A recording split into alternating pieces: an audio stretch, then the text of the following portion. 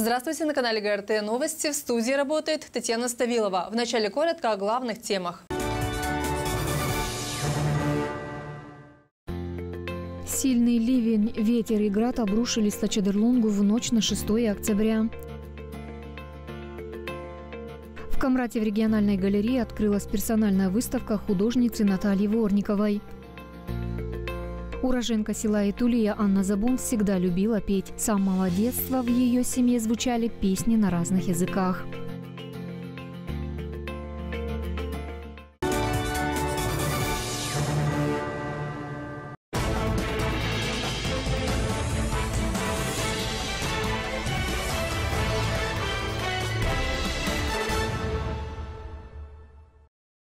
Центральная избирательная комиссия сообщает, что в среду 9 октября в 12 часов в полиграфическом комплексе состоится печать бюллетеней для Конституционного республиканского референдума и президентских выборов, которые пройдут 20 октября. В соответствии с положениями избирательного кодекса представители конкурентов на выборах, средства массовой информации и аккредитованные наблюдатели могут присутствовать при изготовлении шаблона избирательного бюллетеня, его распечатке, а также ликвидации шаблона.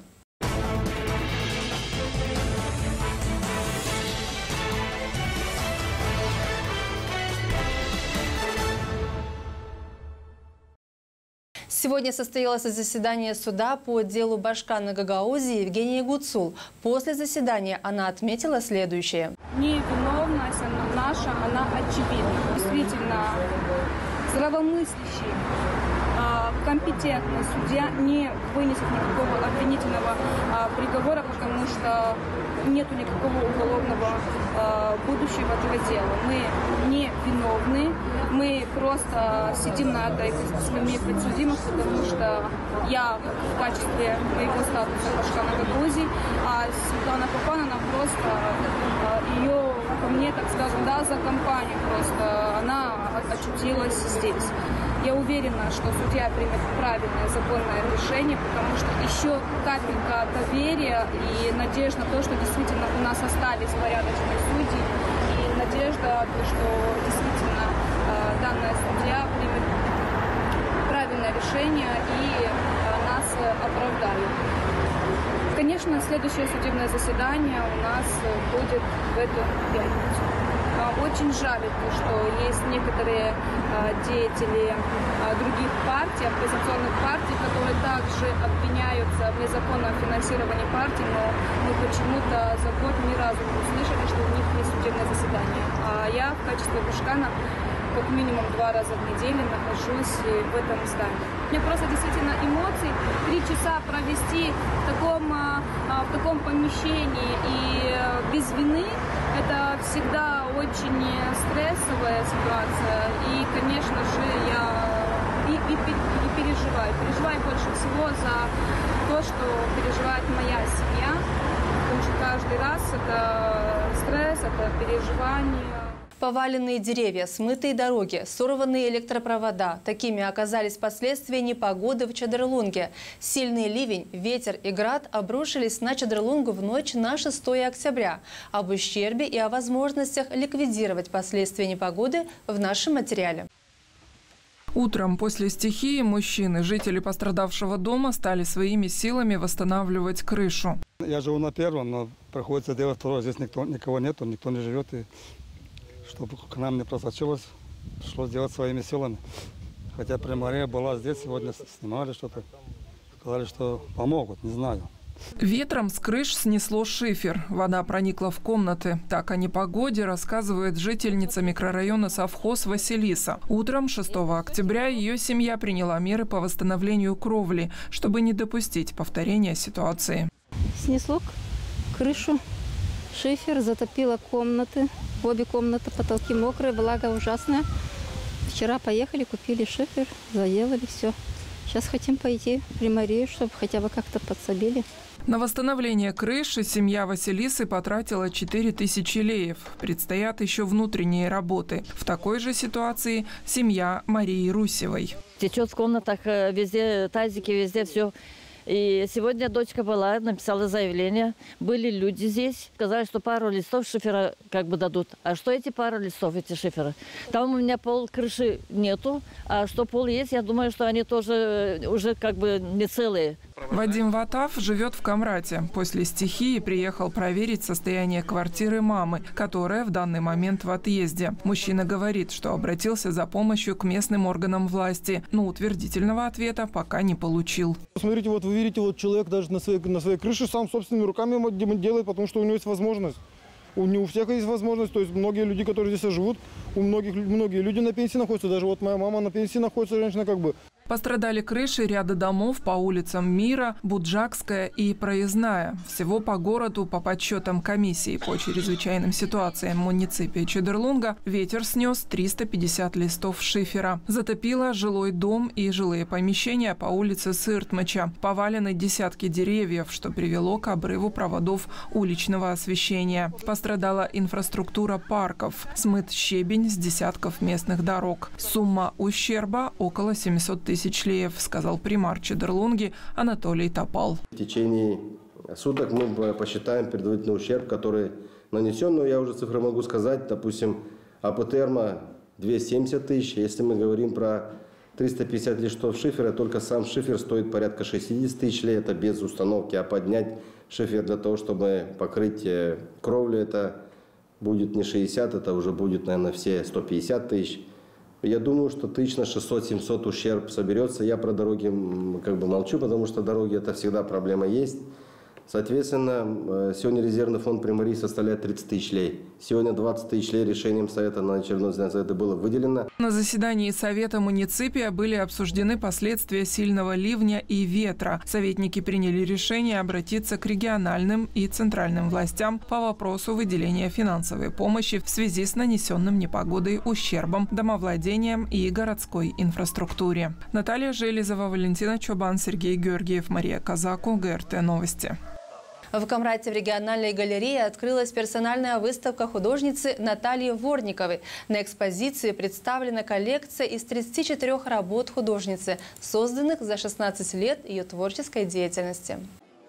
Художественные работы Натальи Ворниковой отражают ее стиль, идеи и видение мира. Каждая работа – результат ее воображения. На экспозиции представлены две новые картины художницы. Кроме живописи есть батик и графические работы. Есть работы не только светлые, добрые и счастливые, которые демонстрируют положительные эмоции. Есть работы, которые заставляют думать, погружаются, погрузиться в меланхоличное такое состояние, где-то даже, может быть, в тоскливое состояние. Может быть, э, не всегда все складывается положительно у человека. Бывают дни, когда, или даже периоды, когда хочется просто поразмышлять или окунуться в самого себя и посмотреть на себя, то есть в глубину самого себя. Кто же я такой, э, кем я являюсь, Основное направление творчества Натальи – это стилизованная живопись маслом. В своих работах Наталья Ворникова активно использует яркие контрастные цвета и сложные текстуры, что придает ее работам глубину и эмоциональную насыщенность, отмечает начальник управления культуры Гагаузии Марина Семенова. Вы занимаетесь не только тем, что вам по душе, но вы вносите неоценимый вклад в развитие культуры нашей автономии. Вы являетесь прекрасным педагогом, чутким педагогом, который прививает любовь к прекрасному, любовь к своему народу, любовь к своей малой родине у подрастающего поколения. Специалист отдела образования, культуры, молодежи и спорта администрации Чадерлунского района Людмила Голослы отметила, что в экспозиции чувствуется национальный колорит. Я не первый раз вижу картины Натальи Георгиевны, но тут есть уже и новые работы. Я вижу, что есть работы э, в национальном стиле, появились новые работы. Э, выставка очень впечатляет. Выставка включает более 30 работ, среди которых представлены как большие полотна, так и небольшие экспозиции. Каждая из них отражает внутренние переживания автора и ее размышления о мире, о связи человека с природой и обществом. Коллеги-художники и друзья поздравили Наталью с открытием выставки, подчеркивая ее значимый вклад в искусство. У нее свой стиль уже выработался, свой стиль, и просто нельзя ее спутать ни с каким другим художником. В основном работы выставлены с 19 по 24 год, то есть за пять лет в основном. Настолько интересный человек, она человек, в котором очень много энергии. Она успевает все, писать картины, моделировать куклы, воспитывать своих детей, быть директором э, художественного, художественной школы в Чудерлонге. Просто удивительно. Ее творчество тоже настолько светлое, э, непредсказуемое иной раз. В ее работах очень хорошо видна вообще любовь к жизни, романтика, переживания, эмоции. И это ее черта. Она как художник, женщина очень хорошо передает эти чувства. И с радостью посещаю ее выставки и слежу за ее творчеством. У нее картины очень светлые, чистые. Это видно, что человек э, э, живет э, творчеством своим, живет в мире согласия в семье своей. И от этого и, наверное, такие красивые, приятные картины и творческие. Свои творческие работы Наталья представляет не только на экспозициях, но и в печатных изданиях. Наталья Ворникова является иллюстратором детских книг на гагаузском языке. Мы с Натальей Ворниковой э, работали вместе в одном проекте, одну книгу выпускали. Я автор текста, она автор э, иллюстрации. Она рисует очень талантливо, очень э, специфически, очень необычный взгляд у нее на мир, на любую картину. Кроме живописи на экспозиции, Наталья представила 11 авторских кукол ручной работы – мы привыкли к тому, что обычно кукла – это красивая барышня, принцесса в нарядном платье, но окружают нас люди совершенно обычные, которые умеют э, печалиться, умеют радоваться, поэтому мне захотелось в своих образах своих кукол передать именно человеческие эмоции, очеловечить их, чтобы они не были идеальными, потому что идеальных людей не бывает. Каждое произведение персональной выставки является отражением многолетнего творческого пути Натальи, наполненного фантазией и мастерством. Светлана Димитрогла, Александр Глеков, Алексей Герчу. Новости ГРТ. Уроженка села Этуле Анна Забун всегда любила петь. С самого детства в ее семье звучали песни на разных языках. И сегодня, будучи уже матерью и бабушкой, она продолжает радовать окружающих своим пением. Героине сюжета, жительница села Этулия Анни Забун, посчастливилось родиться в семье, где все любили петь. И делали это с удовольствием. Нередко они вечерами или на празднике собирались вместе и пели любимые песни. Анна вспоминает. Мы с сестрами часто песни пели. Моя мама пела, отец на гармошке играл. Собирались вместе вечерами. Отец нам аккомпанировал, часто пели тремя голосами. И мама вместе с нами. Моей маме 83 года. Она и сегодня песни поет. Старинные песни поет. Мы их переняли и сегодня поем. В школьные годы любовь к музыке и исполнительству девочки заметили и учителя. Их поддержка и вера в талант давали силы Анне развиваться дальше. Своих преподавателей она вспоминает до сих пор. Повсюду меня водили на конкурсы разные. Участвовала, себя развивала. Тогдашние учителя Василий Петрович, Анна Трифоновна меня развивали и поддерживали. Василий Петрович нам проводил пение и математику. Иногда на уроке математики снимал аккордеон и говорил, давай, Анечка, споем. Мы с ним и на молдавском пели красиво. Как делится Анна Михайловна, петь ей нравилось всегда. Чаще это были песни других авторов на различных языках. Автором своего первого текста к песне Анна Забун стала после ухода из жизни отца. Грустные мысли и невысказанные слова подтолкнули.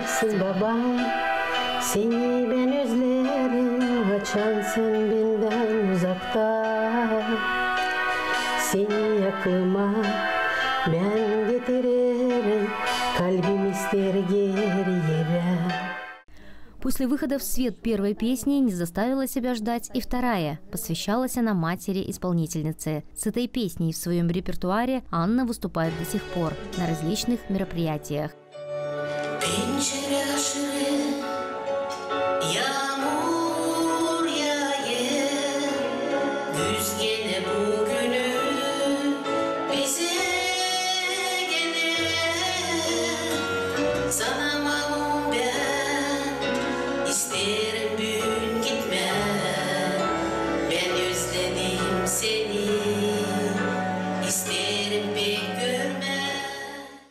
Течение жизни, работая в различных сферах, Анна Михайловна оставалась верной своему любимому делу. Песня всегда была ее другом и поддержкой в жизненных ситуациях. Свои умения старалась передать и молодому поколению. Пять лет она проработала в местном доме культуры, где преподавала вокал и танцы. На сегодняшний день мои ученики 12 класс заканчивают. Их учитель меня приглашает при необходимости. Я с ними занимаюсь, готовлю к конкурсам номера. Во многом заниматься любимым делом, сочинять стихи на песни и исполнять их ей помогает крепкий тыл, ее семья. Супруг поддерживает увлечение жены и помогает ей во всем.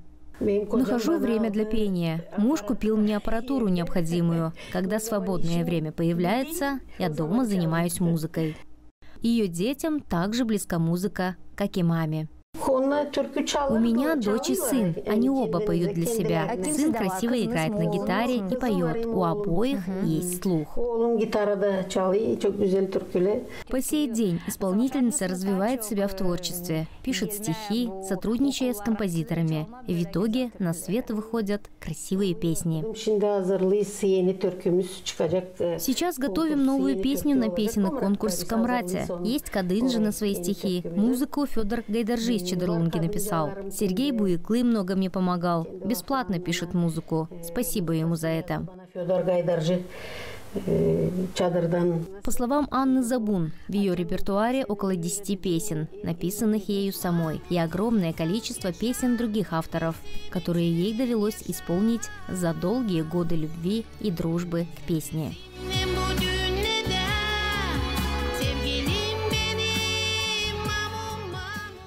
На прошедших Олимпийских играх в Париже среди тяжелоатлетов из Молдовы был Мариан Робу. Он представлял страну весовой категории до 89 килограммов. Спортсмен показал невероятную стойкость и силу, преодолевая сложные испытания. О том, как прошли эти Олимпийские игры и какие трудности ему пришлось преодолеть в сюжете Олега Лодка. Тяжелоатлет из Молдовы Марин Робу поделился своими переживаниями относительно весовой гонки, которая встала перед ним перед началом Олимпийских игр. Он рассказал о том, как строгое соблюдение диеты и постоянные тренировки стали частью его повседневной жизни. Я узнал, что на Олимпийских играх я должен буду выбирать между 89 килограммами и 73 килограммами весовой категории, потому что это олимпийские категории. Из-за этого мне пришлось добавлять к своему весу. С Олимпийских игр в Токио до Олимпийских игр в Париже прошло три года. Я достаточно быстро набрал массу, но было мало времени, чтобы правильно начать работать с этой массой. Но я доволен своим результатом. Можно лучше, но вышел приемлемый результат. результат. Марин Робу также поделился планами после Олимпийских игр. Он рассказал о том, к чему сейчас усердно готовится и что намерен изменить в своей тренировочной программе для достижения более высоких результатов. На данный момент я возобновил тренировки. В декабре будет проходить чемпионат мира среди сеньоров в Бахрейне. Я готовлюсь очень усердно, чтобы взять реванш у соперников с Олимпийских игр. Но это не самое главное. Самое главное для меня следующие Олимпийские игры в Лос-Анджелесе. Сделаю все возможное, чтобы подготовиться намного лучше к ним. Марин Робу занял четвертое место весовой категории до 89 килограмм, зарегистрировав общий результат в 383 килограмма. Эти Олимпийские игры стали для него вторыми. На предыдущих в Токио он занял восьмое место. Олег Лодко, Вячеслав Кыса, Артем Топал, Новости ГРТ. В завершение выпуска о погоде. В Гагаузе ожидается ясная погода, ветер от 1 до 5 метров в секунду. Температура воздуха в Гамрате днем составит 22 градуса тепла, ночью плюс 12. В Чадрлонге днем плюс 21, ночью 11 градусов выше нуля. В Вулканештах днем плюс 22, ночью 12 градусов тепла.